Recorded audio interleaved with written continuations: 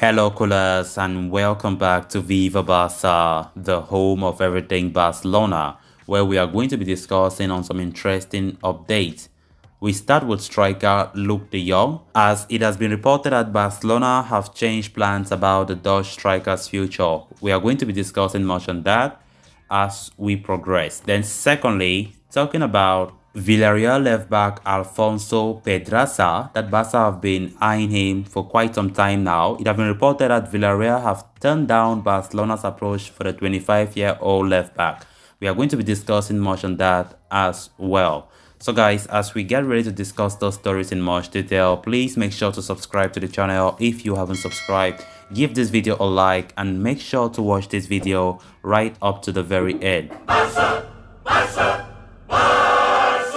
A poor start at Barcelona has often not bode well for aspiring players. Several stars have arrived at the Camp Nou only to crumble under the continuously piling pressure. However, Luuk de Jong's case has been unique. Initially brought in at the request of former manager Ronald Koeman, the Dutch striker struggled to make a positive impression in his initial days.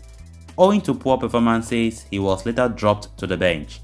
However, his resurgence under Xavi has been something special De Jong has scored in three of his past four games and has seemingly turned around his situation. The former PSV player was set to depart Barca in January. Now, according to reports from La Cadena COPE in Spain, Barcelona have decided to keep the forward at the club until the end of the season. De Jong arrived at Barcelona in the summer on a one-year loan move from Sevilla, hence he has 6 months left on his contract which he will now likely complete. Earlier this week, the striker spoke about his recent boost in form and said he had even surprised the manager. He said, I don't want to leave the city now. Even if I become a substitute again, I can be valuable. I think I have surprised Xavi. Those are the words from him earlier this week.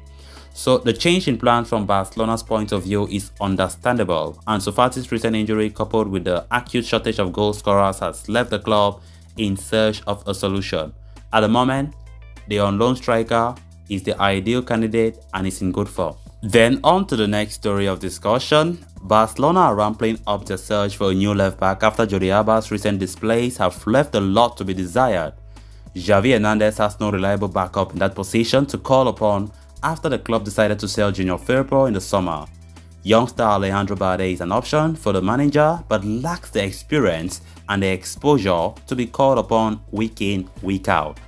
As a result, you know, Xavi has requested the Barca management to bring in a left-sided fullback before the January transfer window slams shut, along with a new striker as well. And Barcelona are looking at options in the market, with Villarreal's Alfonso Pedraza emerging as a target. As per a report from Marca, Barca have made an approach to the Yellow Submarine to assess the possibility of a move for Pedraza. Of course, Pedraza has proven himself to be a reliable customer at left back over the past couple of years, but he has had to share game time with the likes of Alberto Moreno and Pervis Estupiñán this term, which led to doubt over his future at Villarreal.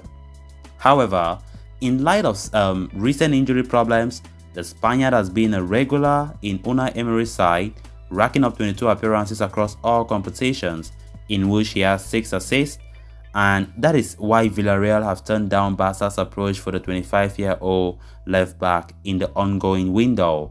The report also adds that the Yellow Submarine also rejected a former offer from Serie giants Napoli. Apart from Barcelona's inquiry, indicating that as they are unlikely to waver from their stance as things stand. It could lead to Barca looking at other options, with Ajax's Nicolas Tagliafico emerging as a lone target, although roadblocks are expected in pursuit of the Argentine international as well. So guys, with that we come to an end of this episode. Thanks a lot for watching. Hope you did enjoy the video and also hope you did subscribe. If you haven't, please make sure to do so so you always stay in touch with the latest update on FC Barcelona here on Viva Barca. Until next time, bye bye.